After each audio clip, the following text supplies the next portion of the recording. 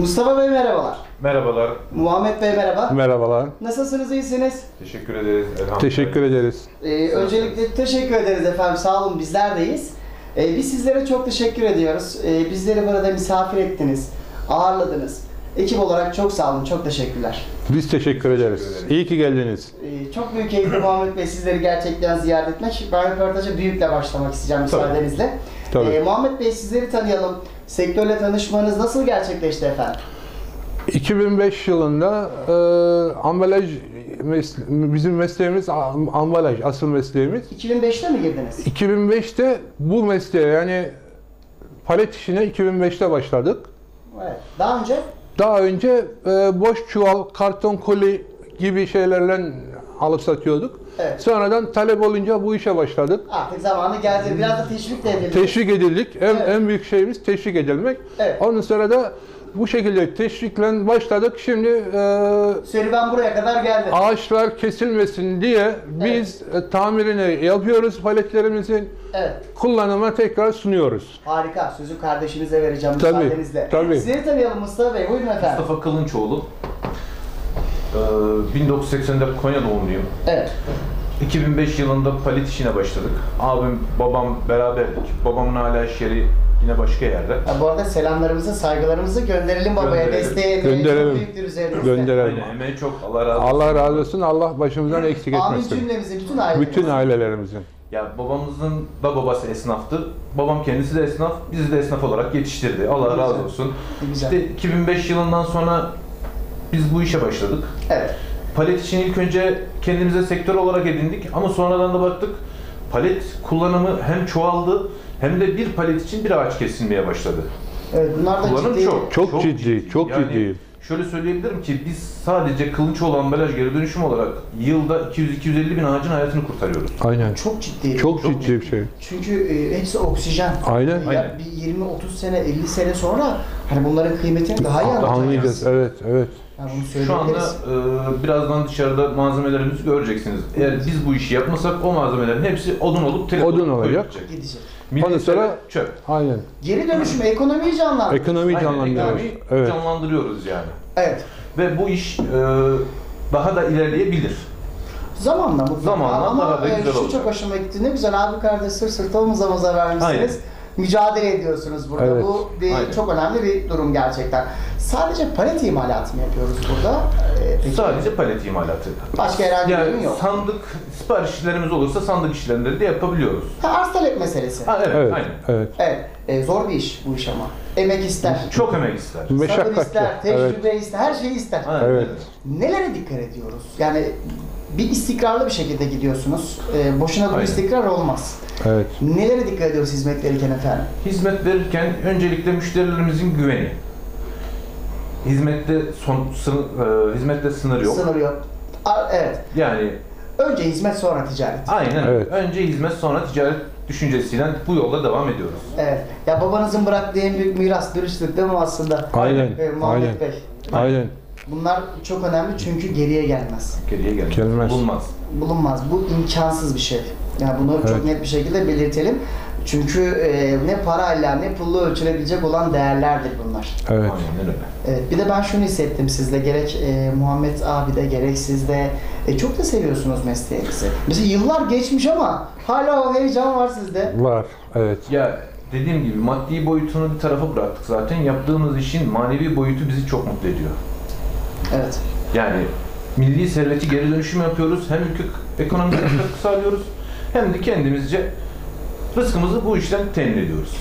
Tabii e, Mustafa Bey, insanların da bu konuda yapması gerekenler var. Üstüne düşen görevler var ve sizin de beklentileriniz var tabii ki. Bu konudaki görüşlerinizi alabilir miyiz? Tabii e, bu konuda insanların biraz daha bu işlere duyarlı olmasını bekliyoruz.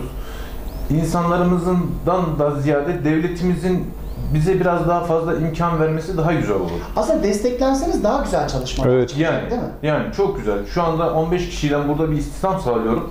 Biraz daha imkanım kuvvetli olsa daha güzel bir yerlere giderim. Yani biraz önce söylediğim gibi 200-250 bin ağaçtan bahsettim. İmkanlarım daha güzel olsa belki yılda 1 milyon ağacın hayatını kurtarabilirim. Evet. Evet. Çünkü bir, ağa- bir ağaç bir insan. Aynen. Aynen. Peki Mustafa Bey kaç kişilik bir personel kadronuz var burada? 10 kişilik personel kadromuzdan şu anda bu işi devam ettiriyoruz. Evet yani yine de ciddi bir istihdam sayısı diyebiliriz. Aynen. Tabii dünyayı koronavirüs etkisi altına aldı. Bu da ülkemizde çok şiddetli bir şekilde devam ediyor. Evet. Bu konuyla alakalı öncelikle işletmenizde tedbirler almışsınız. Tebrik ediyoruz bu konuda size. Teşekkür ederim. E, neler yaptık bu süreçte pandemide? Aldığınız tedbirler neler? Aldığımız tedbirler e, maske, mesafe, Hijyen, hijyen kurallarını kuralları. Evet. Yani genellikle ayda bir olmak üzere dezenfektan komple her tarafı dezenfektan yaptırıyoruz. Evet. Mesafemizi özellikle mesafe yani tek dikkat ettiğimiz Maske, ve maske mesafe. mesafeye çok dikkat, Dikkat ediyoruz. ediyoruz. Sağlık geri gelmez. Aynen. Ya bu iş çok ciddi bir Evet. iş. İnşallah bir an önce ülkemizden e, gidecek. İnşallah. İnşallah. Yani bu çok önemli ama biz bu kurallara uyarsak bunlar olacak. Aynen. Aynen. Yani Kurallara uymamız lazım. Elimizden geldiğince mecburen bu me- kurallara işte bakanımızın açıkladığı 14 kural var. O 14 kurala Harfiyen uymak lazım. çalışıyoruz. Aynen öyle. Yoksa olmayacak Olmayacak. çünkü vakalar artıyor. Evet. Bu yansıyacak çünkü gerçekten. Bu önemli bir konu diyelim. Peki nerelere kadar ürünleri gönderiyoruz? Çalışmış olduğunuz bölgeler Konya mı? Çeşitli yerler var mı? Türkiye'de e, şu anda Malatya'ya kadar ulaştık. Malatya'ya kadar ne güzel. E, tabii seviniyorsunuz da, gurur da duyuyorsunuz değil Tabii, mi? evet, Çünkü evet. oralarda da yer almak Aynen. önemli. Aynen. Çok önemli. Ak- e, Antalya tarafları, Gebze, Adapazarı Oralara da gidiyorsunuz. Tabii. gideriz. İhtiyacımız olduğunda oralardan getiririz. Ya arz talep meselesi. Arz talep Arz talep. meselesi yani. Arz Ama talep şu anda meselesi. Malatya'ya kadar palet sattık. Malatya'ya kadar. Ne güzel. Konya'da Malatya'ya. Kayseri, Malatya, Oralara da oralara gittik. Gittik. Ne güzel. gönderdik. Peki son soruma geldim ben aslında. Buraları hayal ediyor muydunuz? Yani bu yola çıkarken. Bundan sonraki hedef ve projelerde neler olacak? Öncelikle hedefte sınır yok. Bitmiyor değil mi? Bitmiyor yani. Öncelikle onu söyleyeyim. Ama e, 2005 yılında bu işe başladığımız zaman yani böyle bir mümkün değildi. Yani Hayaldi değil mi? hayal, Yani? Hayal. yani. Hiç düşünmüyorduk. Ya aylık ortalama satışlarımıza baktığımız zaman 20-25 bin palet satmış oluyoruz. İlk başladığımız zaman da 50-60 paleti müşteriye verdiğimiz zaman ne yapacağımızı şaşırıyorduk. Evet. O Yani falan- 50-60 palet değil. Ama şimdi tek müşteri 50-60 yani 100 Çok 200 ciddi bir fark. çok fark. Evet. Yani ortalamada aylık şu anda 20 bin adet satışımız var. Bunlar ne kadar güzel ama. Ben çok sevindim bu duruma. Aynen. Ama işte bu sizin ne kadar başarılı olduğunuzu. Demek ki siz bir şeyleri doğru yapıyorsunuz. Elhamdülillah. Sizdeki puzzle parçaları yerli yerinde. Elhamdülillah. Yoksa ne bu istikrar gelir ne de başarı gelir. Aynen.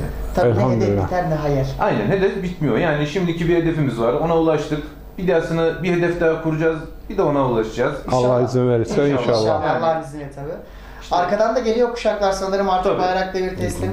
Aynen. Geliyor. Abimin bir oğlu var. Benim de bir oğlum Allah var. bağışlasın güzel. Şu anda lise 1'de inşallah okulu bitirir bitirmez Artık onlar da başlayacak. onlar da devredeceğiz artık. Tabii çıraklıkla başlayacaklar onlar da. Çekirdekten Evet. yetişecekler Evet. inşallah. Aynen. Ee. Biz bir yolda başarılar dilerim sizlere. Teşekkür Son bir ederim. teşekkür mesajınızı alalım. Bu zamana kadar birçok kişiyle çalıştınız. Buradan o işletmelere, kişilere, Konya'ya, tüm Türkiye'ye neler aktarmak istersiniz? Son söz versin buyurun. Müşterilerimize öncelikle çok teşekkür ediyoruz. Bizi tercih ettiklerinden dolayı sağ olsunlar. Ee, biz de onları üzmüyoruz, incitmiyoruz. Evet. Elimizden geldiğince 24 saat hizmetlerine koşmaya çalışıyoruz. Sonuçta biz tedarik firması, firmasıyız. Tedarikçiyiz. O zaman herkesi buraya davet edelim. En azından bir çay kahve içmiş olurlar. Tabii, tanışmış olurlar. tabii. her zaman tabii, için buyursun gelsinler. Her Evet. zaman için bekleriz. Bunları da buradan hatırlatarak bu keyifli röportajı sonlandıralım. Ben vermiş olduğunuz değerli bilgilerden dolayı çok teşekkür ediyorum. Biz teşekkür Mustafa Bey ve Muhammed Biz Bey. teşekkür ederiz. Başarılarınız daim olsun. Teşekkür Çok olun. teşekkür Çok olun. ederim. Hoşçakalın. İyi günler, sağ olun. Sağ olun.